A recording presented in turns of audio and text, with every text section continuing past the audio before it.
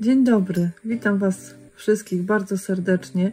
Ten filmik nakręciłam co prawda w kwietniu, e, ale będzie o tyczkach i tak pomyślałam, że dam go teraz, bo wiele osób pyta o tyczki, te, które właśnie widzicie. E, też e, szuka tyczek, zastanawia się, jakie podpory dać na pomidory, na ogórki. No i właśnie chciałam Wam polecić mój nowy nabytek w tym roku. Zapraszam na film. A jeszcze chciałam Wam pokazać mój nowy zakup. Takie tyczki. To jest tylko tak na razie wbite, wiecie, nie, nie ustabilizowane. Po zawaleniu się tej, wiecie, konstrukcji, która w sumie tu pasowała y, tak estetycznie do całości, taka była rustykalna, tak się długo zastanawialiśmy, co tu wymyślić. No ale, tak jak mówię, będą w jakimś najbliższym czasie zmiany na ogrodzie i ja chyba jednak jeszcze nie chcę takich jakichś, wiecie, na stałe robić konstrukcji i pergoli, bo to jednak potem szkoda by było to, wiecie, przynosić, przerabiać. No i mąż naciął jakieś tam jeszcze, wiecie, gałęzi i y, tych y, takich, no właśnie z tego, co tutaj leży.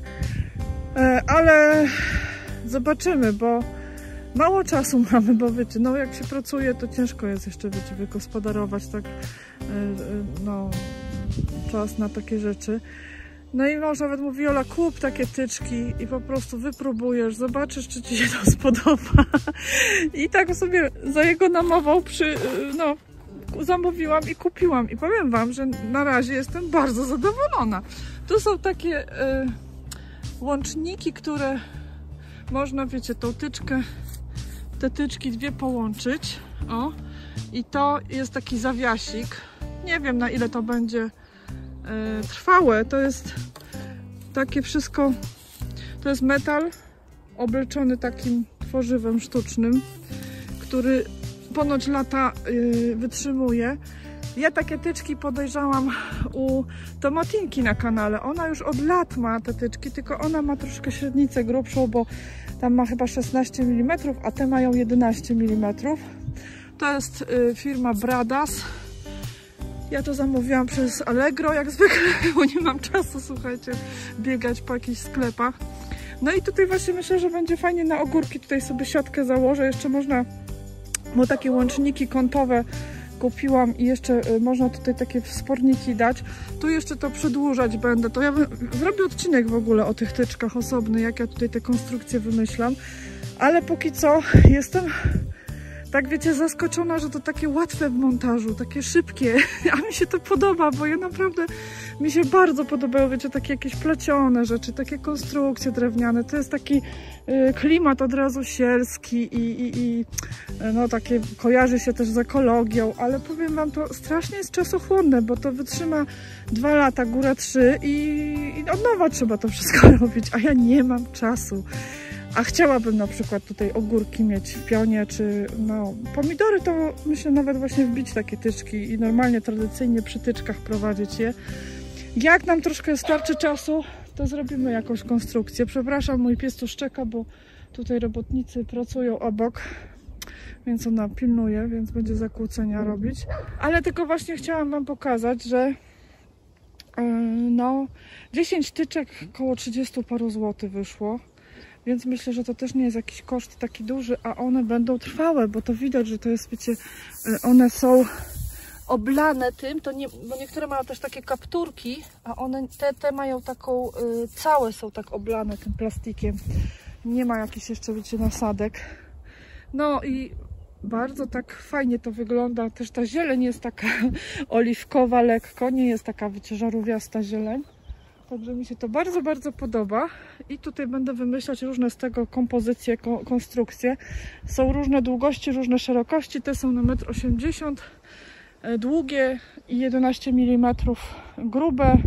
No i zrobimy taką, wiecie, to i tak zarośnie za chwilę, nic nie będzie, jak już tutaj pójdzie jakaś fasolka pnąca, jakieś ogórki, to nie będzie w ogóle widać tego. Jakoś tak patrzę teraz sobie, tak tylko to przystawiłam że dla mnie ok, wiecie, no to nie będzie ogród instagramowy. Ale no ja, ja też, wiecie, powiem Wam, no y, jednak y, czas też jest dla mnie ważny. Jak ja mam coś tu klecić godzinami, to ja wolę ten czas na coś innego przeznaczyć. Choćby nawet Wam film zmontować, o, bo na to też mam mało czasu. No, ale taka konstrukcja. Tak Wam chciałam pokazać, bo teraz wiecie, może ktoś się też zastanawia, tak jak ja, to póki nie będzie odcinka już konkretnie o tej konstrukcji, to tak tylko Wam chciałam pokazać te tyczki. 40 kupiłam tych tyczek, a tu jeszcze kupiłam sobie no to są takie, wiecie, szpilki do agrowłókniny, bo miejscami tam na ścieżkach muszę przyczepić. Tutaj są takie klipsy też do tych tyczek, ale to będziemy próbować. Tu też do agrowłókniny takie szpilki. I tu są właśnie jeszcze różne takie łączniki. Tam możecie łączyć e, dwie tyczki w jedną długą. Nie, to taki z jednej strony jest otwór, tutaj tam wskakuje ta tyczka i tu. A tu jest taki łącznik pod kątem, że taką kratkę możecie zrobić. Taki, on jest sztywny, więc ja myślę, że jak ja tam poprzeczki dam, to trochę to usztywnię tą konstrukcję. E, a to są właśnie te szczytowe, które hmm, takie zawiasy mają i tu z góry jest jeszcze właśnie do zaczepiania tej poprzeczki. Fajne to jest, ja Wam powiem. Oby to wytrzymało jak najdłużej. Jeśli tego nie macie, to ja widziałam też, że ludzie, wiecie co, na trytytki to łączą. Więc ostatecznie będę tak robić. Na razie chciałam sobie, wiecie, popróbować, bo nigdy tego nie miałam, a podoba mi się, jak coś jest proste, szybkie i funkcjonalne. To dla zapracowanych ludzi bardzo, bardzo ważne. Także będę robić odcinek w ogóle o tym wszystkim, jak to łączę. A teraz idę dalej przygotowywać grządkę pod szparagi, która jest strasznie zarośnięta. No i tam właśnie przygotowuję glebę do niej.